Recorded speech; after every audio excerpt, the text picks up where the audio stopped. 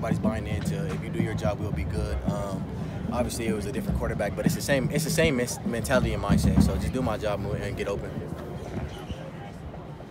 What do you think of the playlist today for practice? Man, oldies is always always good. Always a good vibe. Do you know who picked that, or? Uh, I don't. No, I don't know. I don't. What did you see on tape when you look back and watch the film? Um, I think I think second half we really got it going, just clicking. Um, we just got to be more mentally focused going in there uh, this week or in every game, obviously, but just more mentally focused. The first half we were just kind of out of sync, but I think once if we play like this, we did the second half, we'd be pretty good. Seven receptions for you last year, seven in two weeks this year. You kind of stepped, especially last game, into that number two receiver role. Was that something you expected coming into this year, or is that just kind of how it's evolved? Uh, just kind of how it evolved. You know, just me, me personally, I just take it day by day. Um, I don't look forward. I mean, I look forward to the game, but I don't think ahead to the game. Just what I got to do now at practice, make my plays at practice, and I know everything will turn over into the game. Do you feel fully back? I mean, you missed a lot of time. Like, was there any rust that first week you came back? Um, no, I feel I feel good. I mean, as long as my body feel good, then I'm, I'm gonna feel good. Um, just just me just getting in sync with the with the with the quarterback, the uh, the receiver. So that was the only thing of me coming back, just getting in sync, getting getting in tune with the plays. But I felt pretty good. When you that run play that you were credited for a touchdown, was that put in just for that game, or has that been part of the package for this? Um. It was kind of a game plan for uh, for man, so a man beater. Um, we obviously we don't see a lot of man, so when we did, when they did see it, they called it and it worked. But yeah, it, it's, it's for, for a man. Yeah. Is that designed specifically for you though? Uh, no, I think I, I think everybody can run it. So yes, sir. Did your performance against Stanford kind of affect how you played last week?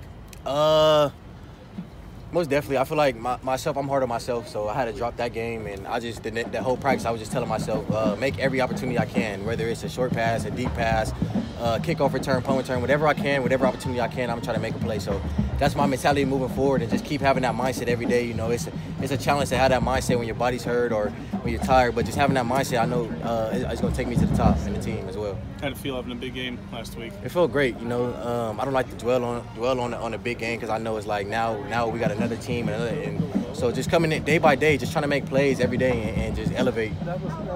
Obviously, Drake a little banged up. I mean, we don't know what that means for Saturday, but do you feel like the receivers have talked about maybe stepping up in case you know? Uh, yeah, I, I, think that's that's that's always the, the plan uh, each week, even if he plays or if he doesn't play. I mean the goal is for every receiver to elevate. Um, whether if you, if we get one play, two plays, like I said, uh, my role, whatever whatever it is in the offense, I'm gonna make the best of my plays, and, and when I get the opportunity to do it, that's what I'm gonna do. Was there any little like nuanced things that Jaxson did a little differently than you did? Um, I think he's just a little more mobile, um, so that makes it harder on the defense. To, um, obviously, just to buy time with us, but they're two great quarterbacks. Um, they both throw the ball tremendously well, even Miller. So every quarterback here is going to do get the job done. If London wasn't able to go, would you feel the responsibility to step up vocally, just as a leader out there, just being one of the? Uh, if, if he does or if he doesn't, I think I think that's my job. Uh, me, um, I, I made that a goal to myself, just to be more vocal and uh, get get the guys going, even on the field or off the field. If I'm on the sideline, let's go, guys, let's go, let's make a play. And then when I'm on the field, obviously I want to play through play through my through what I do on the field. But obviously, what I say, just come on, let's go, let's go, let's motivate the motivate the guys. I know you said you wanted to bring energy, like you said when you got back. Did you feel a different energy with you know Donte Williams and yeah, yeah, yeah, most definitely. Donte brings brings a different vibe and energy. A mindset, just mind, mind, focus, focus, focus. One to know in a day, one to know in everything.